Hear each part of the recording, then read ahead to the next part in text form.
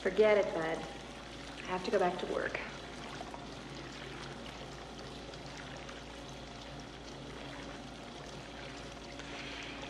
You want to go for breakfast later?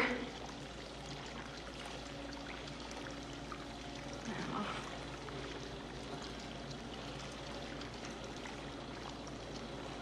I'm sorry. Just have to get back, that's all. Now, Bud, don't be that way. Mm.